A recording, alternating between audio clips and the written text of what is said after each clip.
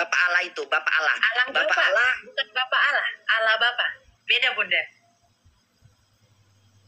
Jangan Gimana? jangan dikatakan Allah Bapak Allah. Kalau Bapak Allah Allah, Bapak. artinya iya. Kalau Bapak Allah Allah, Bapak maksudnya artinya? Allah berbapa. Beda. Oh, jadi dalam agama dalam agama Kristen Allahnya punya Bapak. Dia disebut Bapa karena dia sang sumber. Itu Bunda, bukan berarti Allah itu punya Bapa, bukan. Bu, jadi istilahnya berarti su, jadi jadi Allahnya orang Kristen tuh ya Allah. Allahnya Kristen itu ya sang Bapa itu, itu Allah kan. Enggak, enggak, enggak paham dengan agama agama. Jadi gini, Allahnya Bapak itu ya Allah. Kami adalah sang Bapa.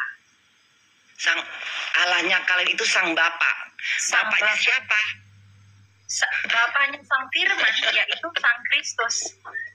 Jadi ya, ya Allah ingin bunda ngebahasnya ini sampai begini-begini jatuhnya. Ini maaf ya nggak menghina ya, maksudnya jadi bunda tuh jadi kayak ini nggak jangan dipelintir ya